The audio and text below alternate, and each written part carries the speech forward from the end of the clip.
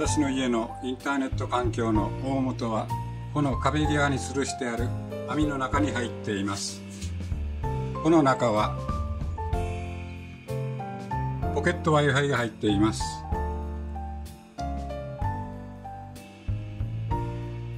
こういう状態でのポケット Wi-Fi です。えっ、ー、とこれは YMAX を受信しています。で余談ですがこの裏側には高熱板をつけています。えっ、ー、と持ち出した時に加熱することが多かったんで高熱板を後で自分でつけました。こういう状態であの自宅でもインターネット環境としてポケット Wi-Fi を使っています。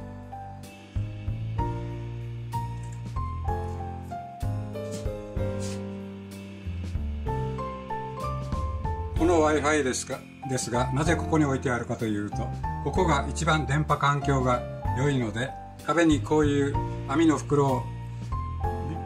画鋲で留めて収納場所にしています、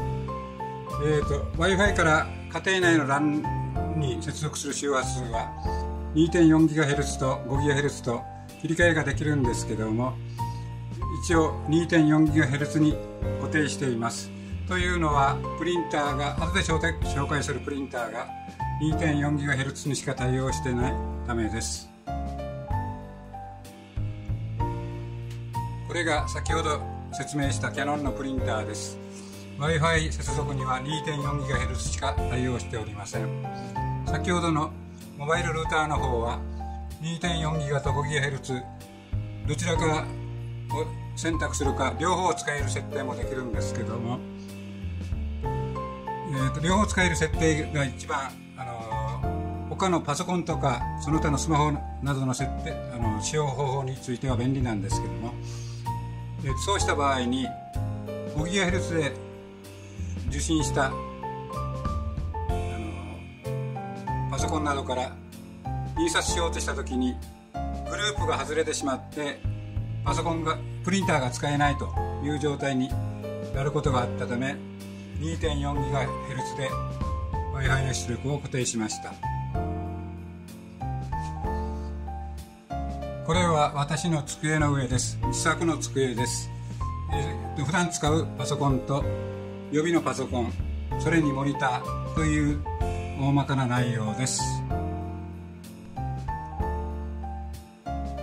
これはリビングに設置した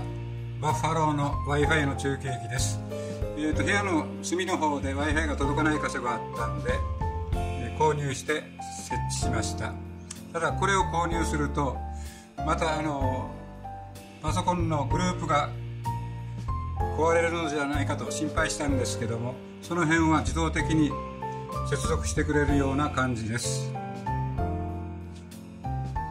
こちらはテレビの裏側に設置してある Chromecast です。えーと、クロームキャストの方もクロームキャストのグループが崩れるのではないかと中継機を買った時に心配したんですけどもそういうこともなく正常に使えました。